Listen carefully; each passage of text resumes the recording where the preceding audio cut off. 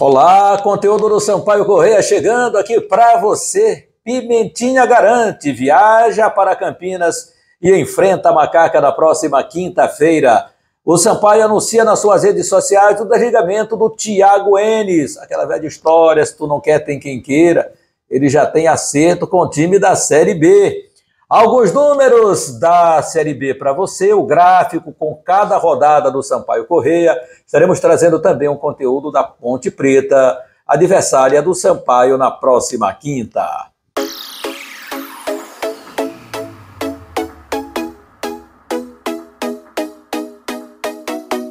Minha galera, um grande abraço, seja muito bem-vindo aqui ao nosso canal Lécio Costa Narrador. O canal que tem quase 600 mil visualizações mas tem muita gente se esquecendo de inscrever-se no canal. Queremos chegar a 4 mil, minha galera, então inscreva-se no nosso canal, dê essa força para o seu amigo Laércio Costa, para que a gente possa manter esta página no ar, fortaleça o canal, deixe o seu like e receba conteúdos todos os dias aqui do seu clube, tá valendo? Então, beleza pura, Coloca o dedinho aí no canal, notícias da Série B do Campeonato Brasileiro. A bola já vai rolar nesta quinta-feira. Acione a notificação aí do sininho para você ser comunicado de mais uma super live aqui no canal Lécio Costa Narrador. Minha galera, Sampaio Corrêa já se preparando para o confronto diante da Ponte Preta e Pimentinha garantiu que vai viajar. Mas eu te conto daqui a pouquinho esse caso aí do Pimentinha. Quero começar falando sobre o Thiago Enes. Thiago Enes foi o jogador que a gente muito se perguntava aqui. Gente, mas por onde anda Thiago Enes? Por que o Thiago Enes não está no Sampaio Corrêa? Por que, que ele não está jogando? Por que está sendo guindado sempre ao quarto plano? E o Sampaio improvisando, o Maurício na lateral, que é volante. Fizemos essa contestação aqui várias vezes. E o Sampaio poderia ter sido melhor se tivesse com o Thiago Endes na lateral direita. Mas um desconforto qualquer estava acontecendo no Sampaio. E a gente sabia que não era possível o jogador da qualidade do Thiago Enes, que foi titular por onde passou, e que veio é, para servir a lateral direita do Sampaio Corrêa, que era uma lateral, uma das laterais carentes do Sampaio. Aí de repente ele vem, faz um ou dois jogos e de repente sumiu, absolutamente sumiu do Sampaio Corrêa, não era nem relacionado para os jogos do Sampaio Corrêa. Aí a gente contestou, inclusive, isso já dessa formação que o Sampaio teve diante do Cruzeiro, do, do Grêmio, né? Já contestou diante do Cruzeiro, diante do Grêmio, que foi agora o jogo mais recente do Sampaio. Nova improvisação do Maurício na lateral, com o Mateuzinho avançado. Meu brother, eu vou te contar uma coisa. É coisa de louco. E a gente sem saber o que estava acontecendo, e eu cobrando aqui, cobrando aqui, fortalecendo com os colegas também de imprensa. Gente, vamos, vamos cobrar. Tiagão, Titi, vamos cobrar aí, rapaz. É, que é o nosso comentarista na Mirante. E ele disse: rapaz, é verdade, mas eu vou, vou perguntar, vou questionar também e vou saber por que, que o Thiago Enes não está sendo relacionado. Nem relacionado, jogador da qualidade do Thiago Enes, o Sampaio com carência, Mateuzinho se machuca, quem vai entrar, e mesmo ele, o lateral direito, com muitas qualidades. Mas, pois bem, o Sampaio então anunciou o desligamento do Thiago Enes, colocando a seguinte nota. Vamos a ela. A Cássio Costa, coloca na tela, nas redes sociais. A diretoria tricolor informa que efetivou a rescisão contratual em comum acordo com o lateral direito Thiago Enes. Agradecemos ao atleta pelos serviços prestados e desejamos sorte no, decorrer da sua carreira. Aí o Thiago Enes também usou as redes sociais e postou eh, na, na sua página. Estou me desligando hoje do Sampaio Correia, mas com o coração grato por todas as oportunidades que o clube me proporcionou. Ele é um gentleman. Esse rapaz é um gentleman. É um cara sensacional, Thiago Enes. Porque que oportunidade, Thiago. Que o Sampaio, é, pelo menos o Sampaio, é, instituição, beleza pura, legal, o presidente te trouxe sabendo das tuas qualidades. Agora, a comissão técnica sempre relegou o Thiago Enes ao quinto plano. Falei quarto, terceiro, quarto, agora eu vou para o quinto. Quinto plano. Não deu oportunidades necessárias. Né? Então, meu amigo, se você não quer, tem quem queira. E aí eu questionei, mas por que o Tiago saiu? Aí colocou bem aqui na o Pérez Paz, indagando um questionamento nas redes sociais do Sampaio Corrêa do comentarista Tiago Bastos, o Titi, e ele falou aqui o seguinte, Tiagão, um abraço, hein, querido? Aí ele colocou o seguinte aqui, o Pérez Paz. Em resposta, ele nos, ele nos procurou, ele e o Tiago Enes, para um acordo. Entendemos o posicionamento dele e decidimos aceitar o acordo de liberação. Nem sempre em uma rescisão, por comum acordo, a iniciativa de conversa é do clube. Mas se o cara não está indo nem no banco, um volante está sendo improvisado de lateral direito, qual é a atitude que um jogador de qualidade, de um jogador, poxa, eu cheguei aqui, eu estou sendo relegado ao quinto plano, eu tenho que pedir a rescisão de contrato. Eu não aceito o que está acontecendo. Foi a resposta do Thiago Enes. Não aceitou, pediu rescisão. Aí, sabe quem já anunciou? O Náutico, time Timbu, adversário do Sampaio Correia, vai fortalecer o Náutico, é um excelente jogador, o Náutico fez correto, está precisando de um atleta dessa envergadura. Então, o Thiago Enes colocou o Náutico já nas suas páginas é, sociais, é, oficial. Bem-vindo, Thiago Enes, lateral direito. Muito bem-vindo, Thiago Enes, ao Náutico, tá?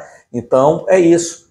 Encerrado aqui o capítulo do Thiago Enes, não serviu para o São Paulo. Eu lamento muito, porque é um grande jogador, um jogador bom, jogador bom. Serviu muito bem o clube do Remo quando esteve por lá. Se o Remo caiu para a Série C, não foi por, por causa do Thiago Enes, foi por outros, outros lances que todo mundo sabe, né? outras peças que não funcionaram. Mas isso aí não é problema nosso.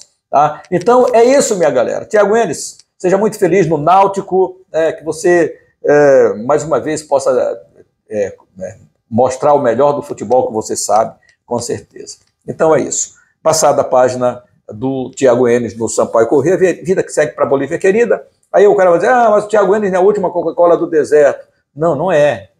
Não é a última Coca-Cola do deserto, mas é um, bom, um bom jogador, que com certeza poderia servir melhor o Sampaio Corrêa se o Condé optasse por moralizar o jogador, dar mais oportunidades, coisa que não fez. Bom, Pimentinha, pelo menos Pimentinha, essa é uma boa notícia do Sampaio Corrêa.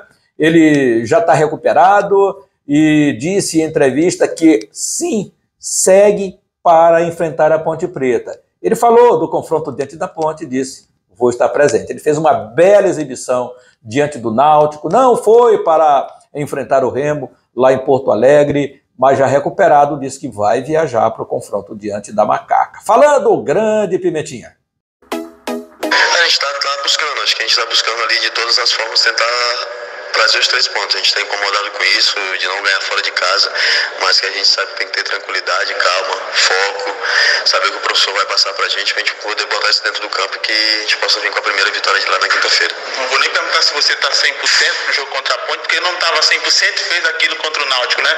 Mas dá para a gente estar tá em campo contra a Ponte, né? Dá sim, se Deus quiser, vou estar lá na quinta-feira. Pois é, Pimenta. A gente espera que você arrebente mais uma vez, que é um jogador que preocupa muito, todo torcedor já sabe. O torcedor fica chateado quando diz, ah, o Pimentinha fez o contrato é, com o Sampaio Corrêa para jogar só em casa, não viajar, mas na verdade o Pimentinha estava assim, machucado. E olha que ele foi um herói contra o Náutico, que ele jogou também com problemas. Né? O Eloy teve problema naquele jogo, também não atuou, ficou de fora, ainda passou um tempinho. O Pimentinha também teve problemas, foi para o jogo mesmo assim estava com o corpo febril, mas arrebentou no jogo.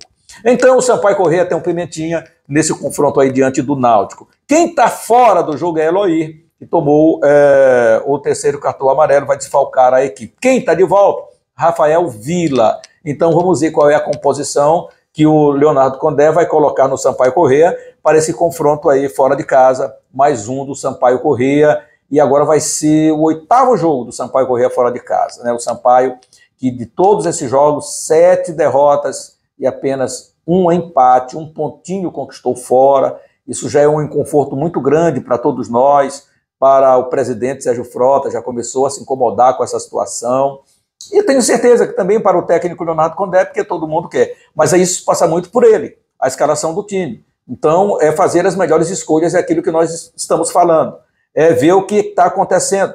E o Sampaio Corrêa está tomando muitos gols. E Tá marcando, mas tá tomando. E agora tá, tá tomando muito mais do que tá marcando. E aí isso aí complica, né? Porque aí o time passa a perder os seus jogos. E o Sampaio não é diferente. Vamos para esse confronto diante da Macaca. A Macaca passa uma situação delicada. Daqui a pouco a gente fala sobre isso, tá? Então, Eloy fora, Vila está voltando e o sistema de defesa do Sampaio Corrêa, eu quero ver o que é que vai fazer o técnico Leonardo Condé. Porque aí é que está precisando que você dê uma repaginada. Né, ver o que está acontecendo com a dupla de zaga do Sampaio. A dupla de zaga do Sampaio falhou nos dois gols do Grêmio. Dos dois gols do Grêmio. Então, se liga na parada aí, se liga na missão, uh, Condé, e vê o que está acontecendo aí na parada. Vamos agora apresentar para os senhores alguns gráficos é, aqui do Campeonato Brasileiro da Série B. E gráfico para o Sampaio Correia não é legal, é gráfico negativo para o Sampaio Correia. O público do Sampaio Correia total até aqui, a Bolívia querida, então é de 7.269. Sampaio está lá na rabeta da fila, cara. O Londrina é o pior e está com 7.049. Sampaio está com 7.269. Público total. Gente, somente é, pouco mais de 7 mil torcedores assistiram aos jogos do Sampaio Correia em casa. Em casa. Como pode um Sampaio Correia, que era o Zé do povo, onde o Sampaio vai, o povo vai atrás. E o Sampaio não está na zona de rebaixamento. O Sampaio Correia hoje ocupa a décima colocação do Campeonato Brasileiro.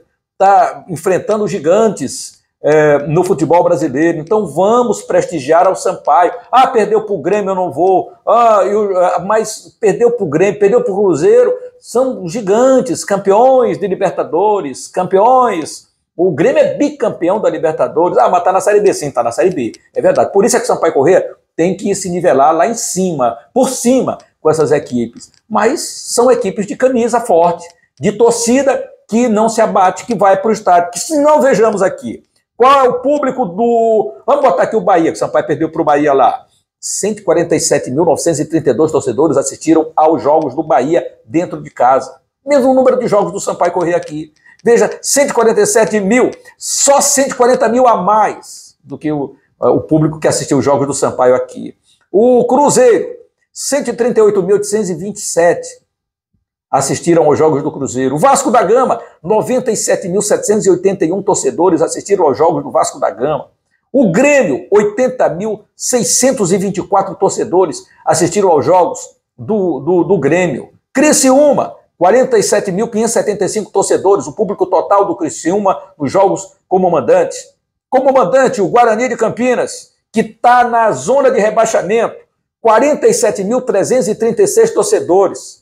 Imagina se o Sampaio tivesse na lanterna, tivesse na zona de rebaixamento. Não ia ninguém para o estádio. Né? Ou ia porque são aqueles fiéis, aqueles torcedores mesmo que vão para o estádio, aquele fiel torcedor do Sampaio Corrêa, e aqui eu tiro o meu chapéu para esses torcedores do Sampaio. Mas a gente não pode conceber um público tão baixo do Sampaio, pede quase para todo mundo. Né? É, é, o esporte, 36 mil e tantos, CRB, 27 mil e tantos, operário de Ponta operário fantasma. 21.973 torcedores nos jogos como mandante, CSA 21 mil e tantos, Vila Nova mais de 20 mil, Vila Nova na zona de rebaixamento, minha galera. Que isso, que humilhação é essa que o Sampaio está passando em relação ao seu torcedor que prefere ficar em casa e não ir aos jogos de futebol? O que é preciso que o Sampaio Correia faça, seja campeão do mundo? Não é possível. O sentimento parou do Sampaio Corrêa? Não pode parar. O sentimento não pode parar, minha galera, pelo amor de Deus. É. Então, Vila Nova, lanterna, até outro dia do campeonato, ainda está na lanterna, me engano, Vila Nova. Depois eu dou uma passadinha lá para dar uma olhada, mas está na zona de rebaixamento. A Ponte Preta, 16.980, também zona de rebaixamento. O Ituano, 12.959 torcedores. Aí vai baixando, é, Tombense para 12 mil, Náutico também para 12 mil, Chapecoense 9.666, Brusque, Brusque 8.713, Novo Horizontino 7.498 e o Sampaio Corrêa só 7.269. Né? Tá lá na rabeta. O último é o Londrina, com 7.049 torcedores. Então, como é que pode?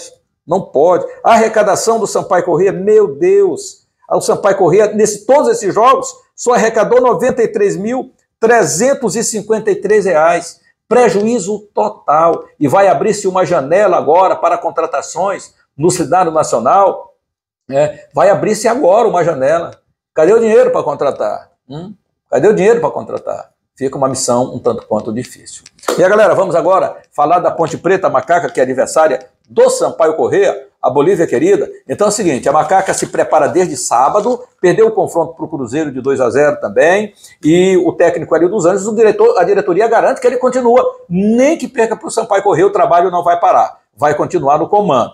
Então, trabalha desde sábado, é, tem o retorno do zagueiro Tiago Oliveira, que esteve ausente diante do Cruzeiro, o lateral direito Bernardo e o atacante Luca também estava suspenso e Noberto também suspenso, ele retorna. Então, retorno já nos treinamentos, trabalhos já começaram, com todos esses reforços aqui para a Ponte Preta diante do Sampaio Corrêa. Vamos recapitular. Tiago Oliveira, Bernardo, Luca, que é o atacante, era o artilheiro com seis gols, foi ultrapassado agora pelo Diego Souza e Norberto, lateral também, suspensão. As dúvidas na equipe, o Douglas saiu machucado, torção do tornozelo diante do Cruzeiro, Ramon Menezes também pancada diante do Cruzeiro, Danilo Gomes, atacante que está fora desde a 12 rodada do jogo contra o Londrina, está em tratamento e são né, é, aqui as dúvidas que o técnico dos Anjos tem para escalar diante do Sampaio Corrêa.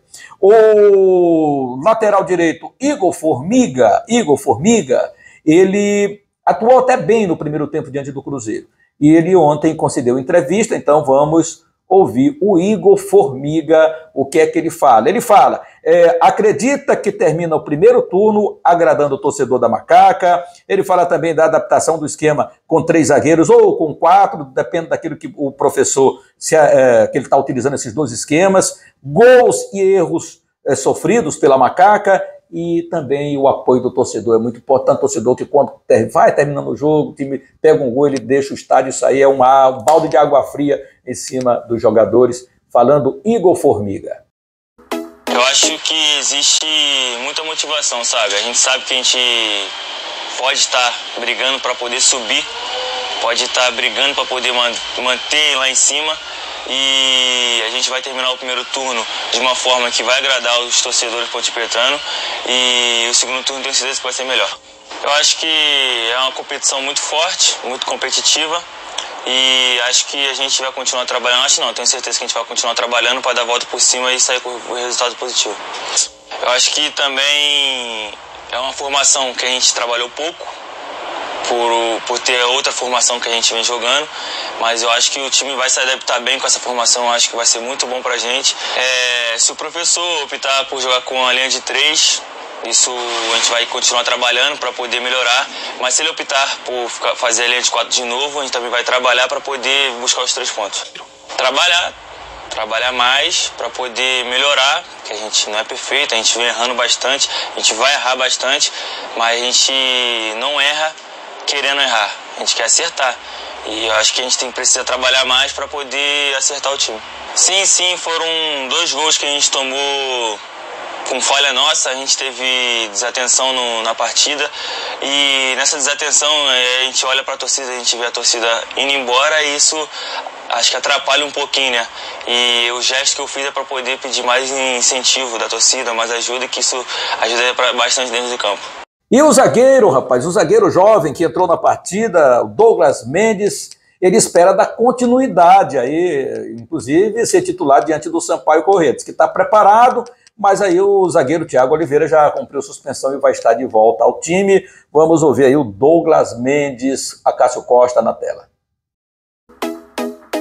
Fala nação, terminando aqui mais um dia de trabalho e eu quero agradecer a todos pelas mensagens positivas, mensagens carinhosas também agradecer a Deus né, pela oportunidade de vestir essa camisa maravilhosa, jogar meu primeiro jogo como titular no profissional. Venho trabalhando há muito tempo, esperando essa oportunidade e na graça de Deus aconteceu. Agora é manter o foco, seguir firme, que quinta-feira já tem uma excelente partida para a gente poder reverter essa situação e se Deus quiser sair vitorioso. Pois é, o time da Ponte Preta aí com seus reforços chegando para né, enfrentar, encarar o Sampaio Correia nessa missão que não é nada difícil quando o time está na zona de rebaixamento, meu amigo. Parece que é, tem a gente puxa para cima, mas tem uma pedrinha bem grande que puxa para baixo. Não é fácil sair dessa zona de rebaixamento, por isso que o Sampaio Corrêa tem que estar muito ligado aí na parada do Campeonato Brasileiro. O Campeonato Brasileiro que vai seguir nesta terça-feira. Nós temos jogos nesta terça-feira porque é, mais uma vez é picotado, né? Jogo terça-feira, jogo quinta, sexta, sábado e domingo,